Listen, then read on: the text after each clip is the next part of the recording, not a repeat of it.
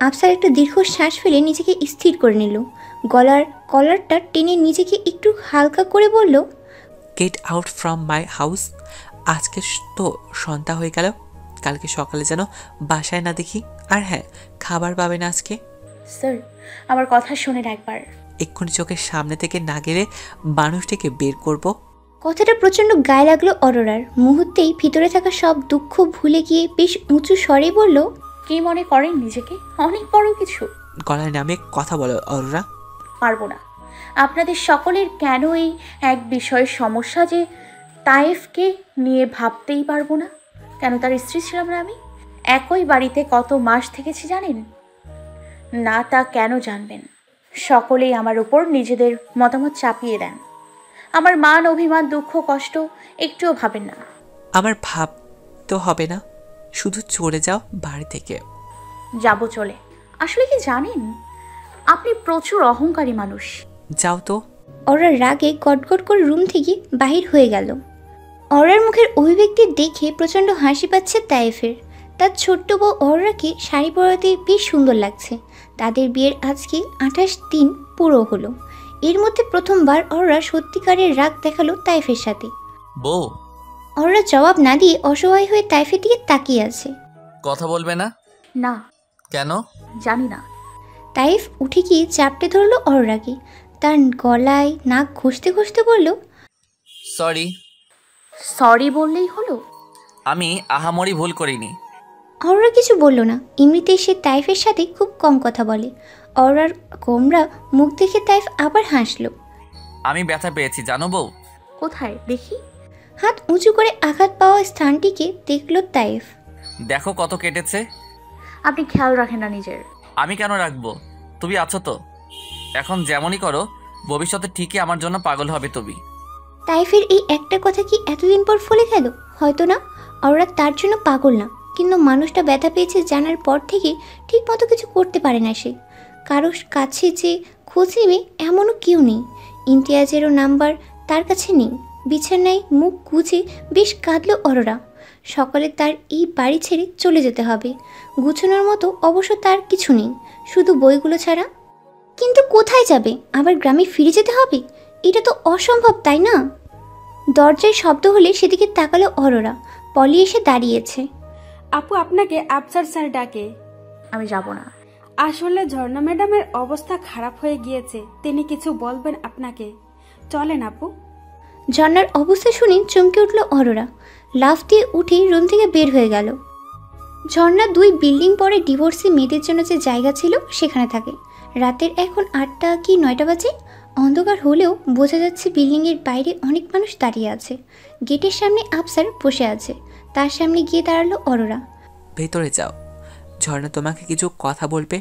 অরোরা মাথা দুলিয়ে ভিতরে প্রবেশ করল। তখনও সে জানতো না এই মরণাপন্ন ঝর্ণা নামের ব্যক্তিটা তার জীবনে কত বড় ভূমিকা রাখতে চলেছে। কিছু সময় বাদে বের হয়ে এলো অরোরা। সাথে জীবনে সংগ্রাম করার জন্য সব থেকে বড় শিক্ষা নিয়ে এলো, তার চোখে পানি টলমল করছে। বের হয়ে চোখগুলো শুধু আফসারকে খুঁজছে। একটু দূরে গাছে হেলান দিয়ে দাঁড়িয়ে আছে আফসার। অরোরাকে দেখি মুচকি হেসে কাছে ডাকলো। কিছু বলা আছে তোমার অরোরা? হ্যাঁ। বলো কি বলবে? আমি আর কখনো এরকম করব না স্যার। ঠিক মতো পড়াশোনা করব। কথাগুলো বলতে গিয়ে কেঁদেই ফেলল অরোরা? বুঝলাম কিন্তু কাঁদছো কেন? জানি না ম্যাডামের কাছে যান। আফসার মাথা দুলিয়ে না করল। যাব না। তোকে শেষ বিদায় দিয়ে এসেছি আমি। এভাবে বলবেন না স্যার। কিছু হবে না ম্যাডামের। আফসার হাসলো। আসলে হাসি ছাড়া এখন কিছু করারও নেই। সারা রাত বিল্ডিংয়ের বাইরে দাঁড়িয়ে থাকল সকলে। ওরা একবার ছন্নার কাছে যায়, তো আরেকবার আফসারের কাছে। আসলে কথাটা ঠিকই, বিপদের রাত অনেক বেশি দীর্ঘ হয়। শেষ রাতের দিকে উপর থেকে কান্নার রোল পড়ে গেল। কেঁপে উঠল অরোরার শরীর। দৌড়ে ভিতরে গিয়ে দেখল ঝর্ণা শেষ নিঃশ্বাস ত্যাগ করছে। বুক ফেটে কান্না আসছে অরোরার, কিন্তু না সে না কেঁদে আবার দৌড়ে আফসারের কাছে এলো। লোকটা পূর্বের নেই গাছে হেলান দিয়ে আছে। মেয়েটা চলে গেল অরোরা? অরোরা কিছু বলল না কেঁদে ফেলল আফসারের সামনে। স্যার আপনার কষ্ট হচ্ছে না? না তো সে মুক্তি পেল। এত কষ্টের কিছু নেই। কিন্তু আপনার চোখ দিয়ে পানি বের হচ্ছে। আফসার কাঁদছে কিন্তু তাতে তার মুখের অভিব্যক্তির একটুও পরিবর্তন ঘটেনি। এমনকি কথা বলার সময় গলা স্বরও কাঁপছে না। আমি কাঁদছি না। অরোরা উল্টো তার জন্য অনেক খুশি আমি। খুব বেশি কষ্ট ছিল মেয়েটার। অরোরা অবাক হয়ে তার সামনে দাঁড়িয়ে থাকা পুরুষটিকে দেখছে যার কোনো দুঃখ নেই। দূরের কোথাও থেকে ফজরের আজান ভেসে এলো সাথে কুয়াশার মতো এক পশলা বৃষ্টি নামলো। এটা মনে হয় বছরের শেষ বৃষ্টি।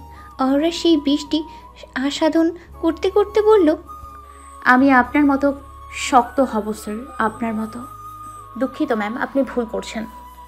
আমি ফ্যামিস্ট্রিট নই পুরুষরা আমার চক্ষু সুলক নয়। বাক্যটা বলার সময় অরোরার মুখে লম্বা চওড়া একটা অপহাস ঝুলেছিল। মিসেস মির্জা তার এই বাক্যে প্রতিবাদ করে বলল ভুল বুঝেছেন কথাগুলো। আমি কিন্তু একবারও বলিনি আপনি ফ্যামিনিস্ট শুধু সামনের প্রোগ্রামে অ্যাটেন্ড করতে বলেছি। তাহলে আমি যেতেই পারি? অরোরার হ্যাঁ কথায় প্রচণ্ড খুশি হলো ভদ্রমহিলা। পাশে রাখা ব্যাগ থেকে একটা খাম বের করতে করতে বলল ম্যাম তাহলে এটা আপনার সম্মানই রইল। অরোরা হাত দিয়ে থামিয়ে দিল ভদ্রমহিলাকে। অবাক হয়ে বলল এটা কিসের সম্মানী? প্রোগ্রামে আপনি বিশ মিনিটের একটা স্পিচ দিবেন। কেন? আমি তো বড় কেউ নই একজন নব ডক্টর না আসলে স্পিচটা হলো আপনার অতীত জীবনের উপর। কীভাবে গ্রামে বসবাস করা মেয়ের শহরে বিয়ে হওয়ার পর ডিভোর্স মিসক্যারেজ, এসবের মধ্য দিয়ে যেতে হয়েছে। স্বামীর কী কী অত্যাচার সহ্য করেছেন?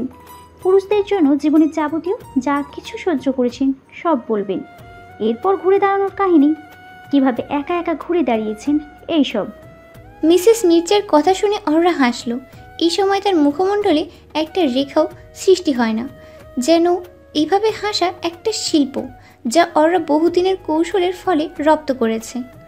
আমি যাব না প্রোগ্রামে মিসেস মির্জা কেন? এইমাত্র তো হ্যাঁ বললেন। আগেই বলেছি আমি ফ্যামিলিস্ট নই। আর নিজের অতীত আমি বিক্রি করি না। থতমত খেয়ে গেল মিসেস মির্জা আমাকে আবার ভুল বুঝেছেন ম্যাম আপনার স্পিচ থেকে অনেক মোটিভেশন পাবে মেয়েরা। অরোরা কোনো জবাব দিল না। পাশেই তার ল্যাপটপ অন করা ছিল। কিবোর্ডে হাত রেখে বলল আপনার এনজিও এর নাম যেন কি? মিসেস মির্জার নামটা বলার পর ওরা চটজলদি গুগলে তা লিখে সার্চ করল। মুহূর্তেই অনেকগুলো রেজাল্ট এসে গেল। কিছু সময় সেসব পড়াই ব্যয় করে অরোরা বলল আপনার এনজিও এর পারফরমেন্স তো অনেক নেগেটিভ শুধু নাস্তিকতা ছড়ানো ছাড়া আর কিছুই দেখছি না। আশ্চর্য ম্যাডাম এসব মিথ্যা। কি যেন হতেও পারে মিথ্যে। ওরা আবার সেই নিজের দাম্ভিকতাপূর্ণ হাসি হাসল। তার সামনে বসে থাকা ভদ্রমহিলার মুখে কালো বর্ণ ধারণ করেছে। তাহলে ধরে নিব প্রোগ্রামটা আপনি অ্যাটেন্ড করবেন না মিস অ্যারোরা। অরোরা মাথা তুলিয়ে না বোধক জবাব দিল। সাথে সাথে ভদ্রমহিলা টেবিলে থাকা খামটা ব্যাগে ভরে নিল। তার কাণ্ড দেখে বড্ড হাসি পাচ্ছে অরোরার। কিন্তু আফসার তাকে শিখিয়েছে এমন পরিস্থিতিতে সৌজন্যতা বজায় রাখা উচিত। এই জন্য কোনো প্রতিক্রিয়া দিবে না সে। দেখেন মিস অ্যারোরা আপনি প্রোগ্রামটা অ্যাটেন্ড করলে উপকার পাবেন। আফসার স্যারের সেই জন্যই পাঠিয়েছে আমাকে। কথা বলতে পাঠিয়েছে। বাকি ডিসিশন আমার উপর। এই ডিসিশনকে আমি একটুও সাপোর্ট করতে পারছি না। সেটা আপনার উপর নির্ভর করে ম্যাম একটা লম্বা নিঃশ্বাস ছাড়লো ভদ্রমহিলা। হঠাৎ করেই তার মুখ থেকে নমনীয়তার মুখোশ খুলে গেল। বলতে বাধ্য হচ্ছি আপনি প্রচণ্ড বেয়াদব আর অহংকারী মহিলা। এটা কেন ভাবলেন? টানা পাঁচ দিন বহুবার কল করেছি আমি। এরপর নিজে তিন দিন এসে ঘুরে গেলাম। এত কষ্টের ফলে এখন বলছেন ডিসিশন আপনার? যাবেন না। ভদ্রমহিলার কথা শুনে ওরা অবাক হয়ে পড়ল আমি যেতে না চাইলে জোর করতে পারবেন? অবশ্যই পারি। না গেলে হসপিটাল সম্পর্কে নেগেটিভ বহু কিছু শুনবেন। অরোরা কপাল কুঞ্চিত হয়ে গেল। সাথে মুখে আরও বড় ধরনের হাসি ফুটে উঠেছে। মিসেস মির্জা আপনার কথাগুলো তো শুনতে ভালোই লাগছে। ফানি লাগছে, তাই না? এই হসপিটালের সর্বোচ্চ দ্বিতীয় পদে বসে রয়েছেন। অথচ পরিপূর্ণ ডক্টর হয়েছেন মাত্র এক বছর আগে। এর মধ্যে এত বড় প্রাইভেট ক্লিনিকে নিজের অবস্থান গড়ে নিয়েছেন। বিষয়গুলো সন্দেহজনক। অথচ আপনার ব্যাচে অন্য কেউ প্রথম স্থান অর্জন করেছিল। সেক্ষেত্রে আপনি কতটা ডিজার্ভিং এই হসপিটাল বা চেয়ারের জন্য? ওরা হঠাৎই উঠে দাঁড়াল। একটা জাম রঙের শাড়ি পরে আছে সে। গায়ে সাদা অ্যাপ্রন জড়ানো। চুলগুলো হাত খোপা করে ঘাড়ের এক পাশে এলিয়ে রেখেছে। এক হাতে সাদা রঙের হ্যান্ডওয়াচ আরেক হাতে পাথর খচিত পাতলা একটা চুড়ি পরে আছে। মুখে প্রসাদিনীর ছাপ নেই বললেই চলে। বেশ সুন্দর দেখাচ্ছে। মেয়েটার বয়স সাতাশ শেষ হয়ে আঠাশ হতে চলল। কিছুদিন পর অথচ দেখে বোঝার উপায়ই নেই। তার উঠে দাঁড়ানো দেখে মিসেস মির্জা চুপ হয়ে মাথা নিচু করে ফেলল। অরোরা তার পাশের চেয়ারে বসতে বসতে বলল আরে মিসেস মির্জা লজ্জা পাবেন না। আপনার কথাই আমি কিছু মনে করিনি। কিন্তু কি বলেন তো? আমি যে সিটে বসে আছি, এখানে তারাই বসতে পারে, যারা শুধুমাত্র চিকিৎসা নয়, ব্যবসায়িক দিক দিয়েও পারদর্শী। এটা তো একটা প্রাইভেট ক্লিনিক। সেটা আপনিও জানেন, আমিও জানি। নয় বছর হয়ে গেল, হসপিটালটা তৈরি হয়েছে। সূচনা লগ্ন থেকেই আমাকে সব শেখানো হয়েছে। আজকের দিনে এই চেয়ারে বসানোর জন্য। তাই আপনার কথায় কিছু মনে করা মানে নিজেকে নিজের চিমটি কাটা। হাসালেন মিস অ্যারোরা। আপনার থেকে বেশি ডিজার্ভিং ছিল ডক্টর চৌধুরী। আপনার সব দিক ভালো। হসপিটালকে এগিয়ে নিয়ে যাচ্ছেন ঠিকই, সব সাজানো গোছানো। কিন্তু বলেন তো, কি বাহিরের মানুষের কাছে ঠিকভাবে উপস্থাপন করতে পারছেন না হসপিটালটাকে? বা নিজেদের? আপনার জায়গায় ডক্টর চৌধুরী বা ডক্টর শাকিল হলে সব কিছু আরও ভালো লাগতো। মেয়ে মানুষ নেতৃত্ব দিচ্ছেন বিষয়টা দৃষ্টিকটু। অররা এবার আর নিজের হাসি থামাতে পারল না। সামনে বসে থাকা মহিলাটির জন্য তার বড্ড মায়া হচ্ছে। তবুও নিজেকে কিছুটা ধাতস্থ করে মিসেস মির্জার হাত ধরে পড়ল পার্থ শব্দটা নিয়ে বহু দিন আগে আফসার স্যার আমাকে একটা ব্যাখ্যা দিয়েছিলেন। শব্দটা কখন বলে, যখন বিষয়টা ঘটে গিয়েছে এবং যা অতীত। ঘটনাটা কারোর পছন্দ না হলে সেই শব্দটা ব্যবহার করে।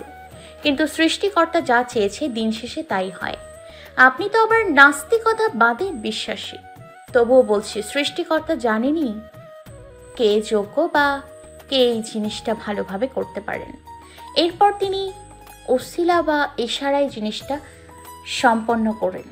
তাই দুজন ডক্টর যদি এতটাই সঠিক হতো এই হসপিটাল চালানোর ক্ষেত্রে, তাহলে বিশ্বাস করুন তারাই চালাতো।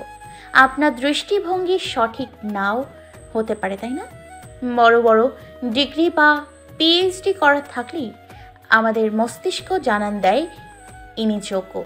অথচ জানেন হাজার টাকার ঔষধেও মাঝে মধ্যে যে অসুখ সারাতে না পারে, পনেরো টাকার ঔষধই তার ঠিক হয়ে যেতে পারে। থাক, আপনার সংকীর্ণ মস্তিষ্কে এসব ঢুকবে না। বাইরে যাওয়ার পথ ওখানে। স্ট্যান্ড আপ অ্যান্ড লিভ আপনাকে বাহির করতে আমি আর একটা শব্দ উচ্চারণ করতে চাই না। অরোরার নমনীয় কণ্ঠে বলিষ্ঠ কথাবার্তা মিসেস মির্জার কানে তুলা লাগিয়ে দিয়েছে। তড়িঘড়ি করে ব্যাগ উঠিয়ে বাইরে চলে গেল। তার যাওয়ার পথে কিছু সময় তাকিয়ে নিজেকে শান্ত করার চেষ্টা করল অরোরা। এরকম বহু কিছু সে সহ্য করতে হবে। ভবিষ্যতেও তা সে জানে। যদিও প্রথমে ভেবেছিল প্রতিক্রিয়া দিবে না কিন্তু আফসার তাকে শিখিয়েছে মানুষ ছোট করে কথা বলতে পারলে তার জবাব দেওয়া যায়। এতে দোষের কিছু নেই সেজন্য শুধু সঠিকভাবে কথা উপস্থাপন করতে হয়। এমন সময় সেলফোন বেজে উঠল অরোরার। আফসার কল করেছে। ফোন রিসিভ করে কানে ধরল অরোরা স্যার আপনি কেন ওই মহিলাটাকে এখানে পাঠিয়েছেন? ফোনের ওপাশ থেকে আফসারের হাসি মাখা কণ্ঠস্বর ভেসে এলো। বাসায় এসো বলব এখন অন্য বিষয়ে বলতে কল করছিলাম। কি? তোমার চা পাতা শেষ? বাসায় আসার সময় নিয়ে আসবে। তা না হয় চা পাবে না রাতে আর সকালে। কথাটা বলেই আফসার ফোন কেটে দিল। অররা হাসি ব্যক্তিটার এমন কথায় যেদিন থেকে অররা চাকরি করা শুরু করেছে সেদিন থেকে নিজের সমস্ত কিছুর জন্য তারই টাকা খরচ করতে হয়। যদিও এখনও সেই আফসারের বাড়িতে থাকে। কিন্তু এটা বুঝে না। সে কেন অররার থেকে এত ছোট ছোট বিষয়ে টাকা নেয়? শায়নকে এখন ঠিক রাজপুত্রের মতো লাগছে জামালের কাছে। নেভি ব্লু রঙের স্যুটটা একদম গায়ে ফুটে উঠেছে তার। সে আগে ভাবতো বিশ থেকে তিরিশের মধ্যে ছেলেদের সব থেকে বেশি সুন্দর লাগে, কিন্তু পঁয়ত্রিশ বছরের সায়নকে দেখে এই ধারণা সে বহু আগে পরিবর্তন করে দিয়েছে, কিন্তু ব্যক্তিটার জন্য বড্ড মায়া হয় তার। এখনও নিজের জীবনটাকে গুছিয়ে নিতে পারল না। এগারো বছর ধরে সেই অররা নামক শব্দেই আটকে রয়েছে। ল্যাপটপে কাজ করতে করতে সায়ন একবার জামালের দিকে তাকালো। এক দৃষ্টিতে তার দিকে তাকিয়ে রয়েছে জামাল। তোমার স্ত্রী ঠিকই বলেছে। ইদানিং তোমার মধ্যে একটা সমস্যা দেখা দিচ্ছে। সায়নের কথায় থতমত খেয়ে গেল জামাল। এই কথা কেন স্যার? কেমন লোভনীয় দৃষ্টিতে আমার দিকে তাকিয়ে রয়েছে। সি স্যার আমার দুটো সন্তান রয়েছে। সামান্য